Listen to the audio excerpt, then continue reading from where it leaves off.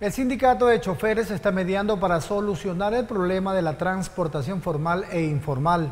Marcio Galarza dice que están agotando los diálogos en todas las esferas y que ya es tarea de las autoridades frenar la ilegalidad que mucho daño está haciendo a la clase del volante. De acuerdo a Marcio Galarza, secretario general de choferes del Sindicato Profesionales del Oro, se han agotado todos los diálogos para llegar a solucionar el problema generado por la transportación ilegal y la transportación irregularizada. Lamentablemente, el inconveniente persiste. La ilegalidad sigue y sigue creciendo y no hay nadie quien pare, nadie que alguna autoridad que diga, sabes que hasta aquí. Se hizo una ordenanza municipal en la cual por el uso de suelo salieron ciertas operadoras disque de turismo pero ahora se han ido a las afueras de Machala y se ha incrementado mucho más.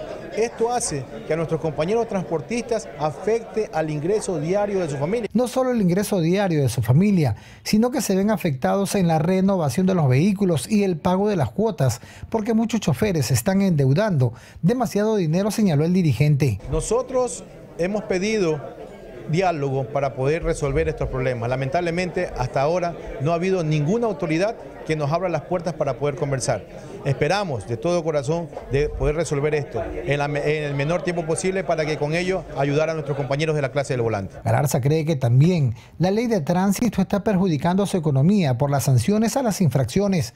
Por ello, la sugerencia de que en la Asamblea se reforme dicha normativa. No estamos diciendo que nos solapen ciertas cosas, sino que también nosotros somos choferes asalariados, en donde las sanciones por una infracción, cinco sanciones, no puede ser. Eso es anticonstitucional y eso lo sabemos todos. ¿Cuáles más serían ese tipo de reformas que, que necesita la ley? Nosotros lo que queremos es no perder nuestra profesión.